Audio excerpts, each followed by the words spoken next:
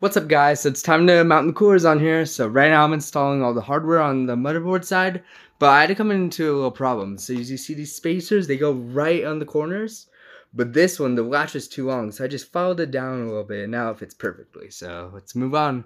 Alright, so we got the first side done, now I'm to move on to the second side. Alright, so this side, we're to have to sand down two sides on this one. So here's the pieces. Let me go sand them down. Here's how they look all sanded down, now let's check if they fit. All right, we got one side to fit, so I'm gonna go sand down other one a little more because this one's a little more tighter. All right, after a bit more sanding, I got all of them to fit on, so now let's screw on the mounting gear. All right, here's the last screw going in. Now we can mount the actual coolers. All right, guys, so we got all the mounting hardware on, so now we're gonna put the paste on. I'm just using the generic thermal paste that came with the, the cooler, so here we go.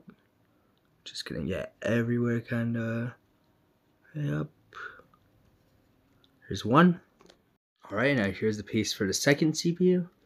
These CPUs require way more paste than regular ones because of the bigger IHS, so just give me a generous amount.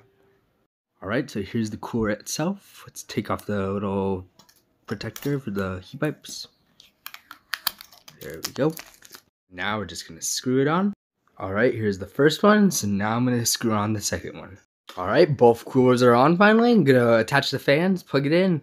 Alright guys, so the build is complete. I really like how it looks. I think it looks really good.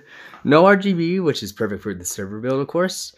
So now I'm just waiting on a case and a power supply to test this, but I will be updating you guys soon. Thank you for watching.